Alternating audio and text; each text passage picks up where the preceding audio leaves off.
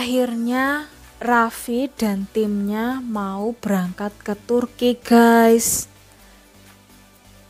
Pagi itu Rans, Raffi Ahmad, Nagita, Rafathar dan timnya mau berangkat ke bandara untuk melakukan perjalanan ke Turki.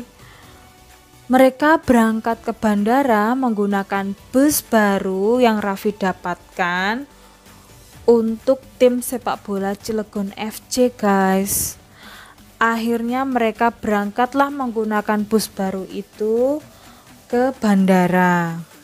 Sesampainya di bandara Raffi dan keluarga masih melakukan pengecekan dan lain-lain untuk check-in juga. Setelah itu mereka memasukilah pesawat Turki Airlines. Akhirnya pesawat Turki landing juga guys di Turki. Welcome to Istanbul untuk Raffi dan keluarga. Raffi dan keluarga sampai di Turki jam setengah lima pagi.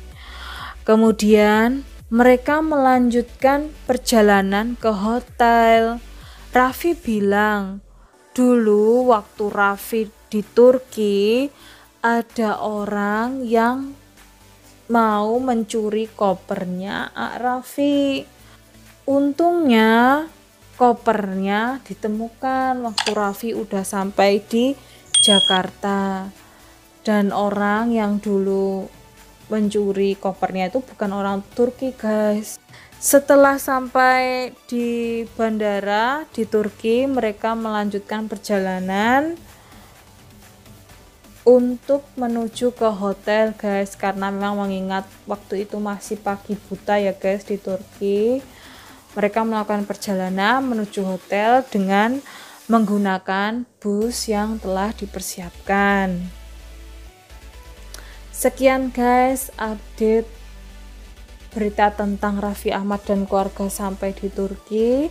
Semoga kalian terhibur. Jangan lupa ya guys untuk like, comment, and subscribe video di channel kita ya guys. Makasih.